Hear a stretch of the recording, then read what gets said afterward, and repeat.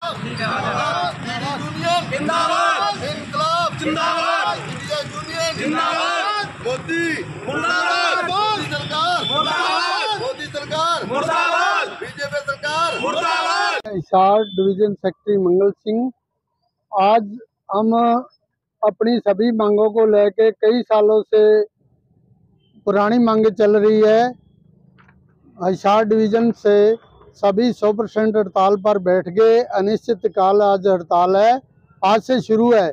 देखो, महीना चल सकती, दो भी, तीन भी चल सकती है। जितना देर हमारा फैसला नहीं सरकार मानती, उतने देर हम बैठेंगे।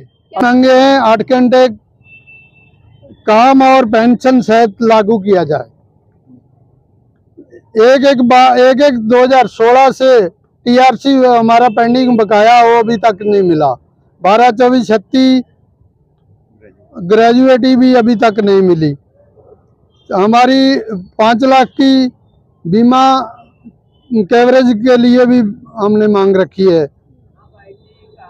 और ग्रेजुएटी की मांग है हमारी पाँच लाख रुपया। 180 दिन की छुट्टी है।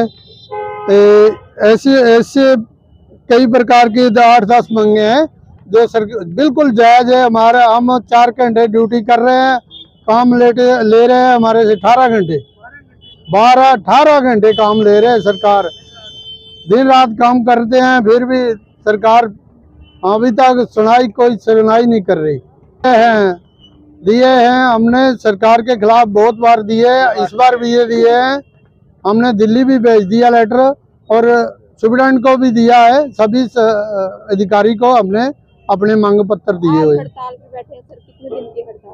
अनिश्चित काल हड़ताल है। जब तक हमारी मांगे पूरी नहीं होगी तब तक हम हड़ताल पे बैठे।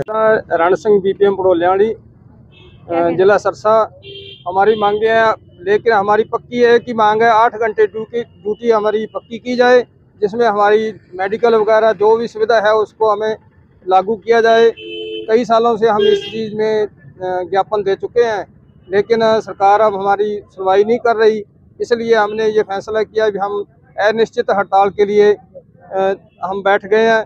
जब तक हमारी सरकार ये मांगे, सुनवाई नहीं करेगी, आठ घंटे तक ड्यूटी पक्की नहीं करेगी और ग्रेजुएट के बारे में जब वो नहीं सोचेगी, तब तक हम यहाँ से उठने वाले नहीं हैं।